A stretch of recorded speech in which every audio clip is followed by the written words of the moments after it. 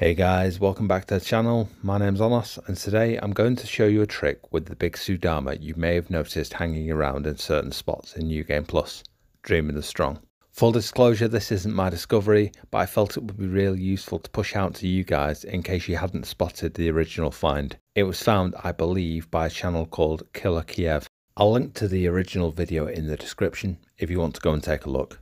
So following up on the video I did about leveling up your soul cores, this is another way you can spend some time farming for your perfect soul core if you haven't already got the attributes you want. It's a great way to get the perfect attributes on soul cores which you really don't want to farm for.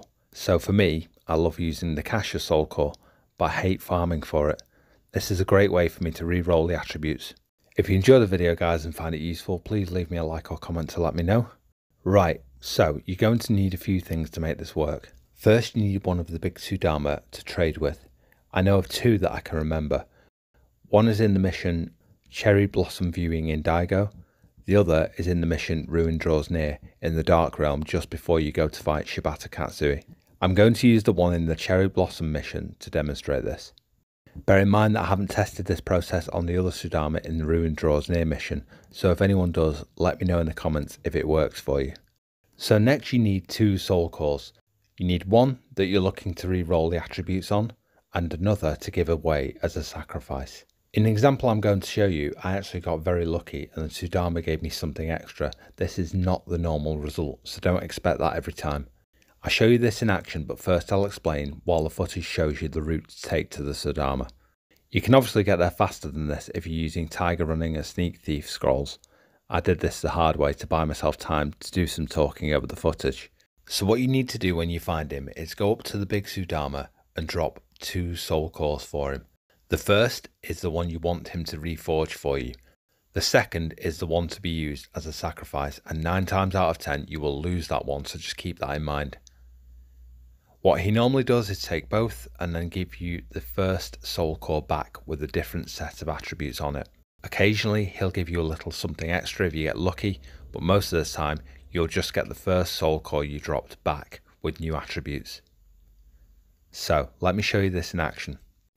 I'll let the footage just play from here on so that you can see the route to the Sudama, then we'll pick up the commentary again.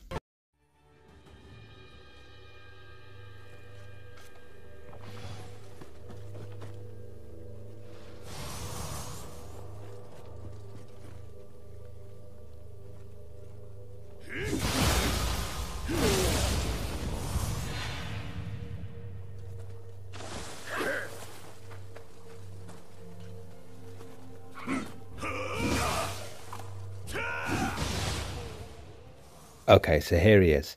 In this example, I drop a Shuten Doji Soul Core first. That's the one I want back. And I give him an Otakemaru Soul Core second as the one to be sacrificed.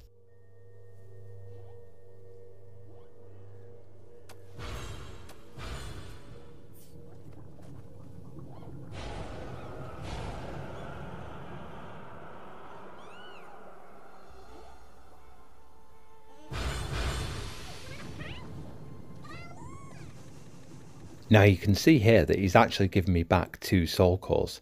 That's not usually what happens as I explained earlier. But if you notice, he's given me back a Kadama soul core along with my reforged Shuten Doji soul core.